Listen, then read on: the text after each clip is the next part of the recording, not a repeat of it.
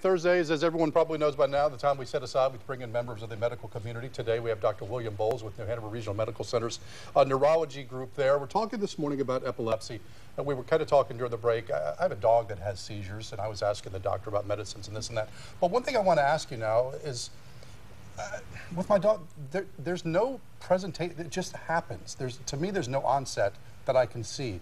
Is it the same with humans that they just come on? There's no real telltale sign of when they happen?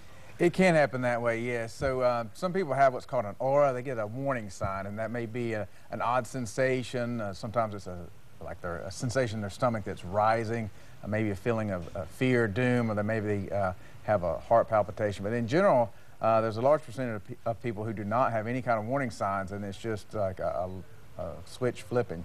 They have the seizure. It's uh, abnormal brain activity, and it just begin spontaneously.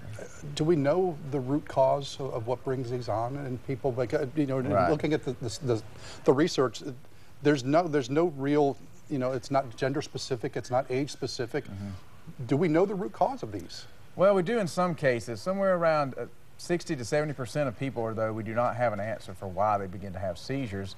Uh, other people, it can be uh, secondary to having a stroke or brain injury, uh, something like that. Uh, there are genetic disorders as well that we can identify. But like I say, 60 to 70% of people we do not identify cause.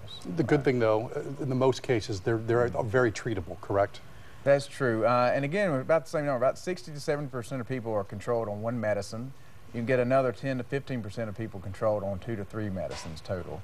Um, and another thing I would say is, you know, when it comes to seizures, there are some seizures that are unprovoked. That's that number I was talking about, 60 to 70% of people unknown cause. There are also provoked seizures where people can have a fever, like a brain infection, and that can cause a seizure, and that's not epilepsy. Uh, the unprovoked seizures are epilepsy. Okay. And as far as I don't want to. I don't want to say when do you know you have a problem because obviously if you have a seizure, there's something mm -hmm. that, that runs a little wrong. But in, in, a person that is epileptic, are we talking multiple times throughout a year? Could it just be one time a year that that, that mm -hmm. to where they do have this under control? Right. Yeah. Seizure frequency varies you know, greatly, just like many other conditions it would.